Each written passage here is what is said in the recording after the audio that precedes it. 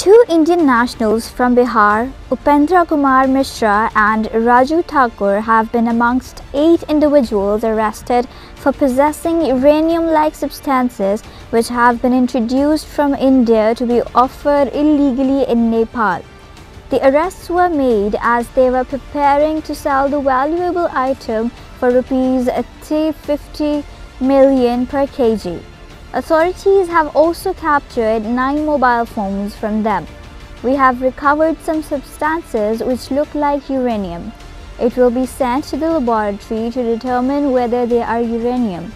Dinesh Mainali, Superintendent of Police from the Metropolitan Police Range, said, The police have initiated further investigation into the matter after taking the eight people under detention.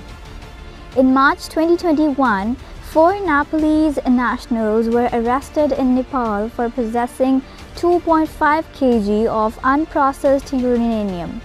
One of the arrested claimed that her father-in-law brought it from India where he worked in a uranium mine some 20 years ago.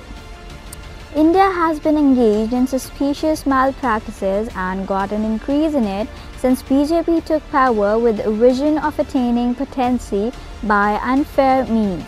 These incidents must be taken into account as whistleblowing for world peacemakers.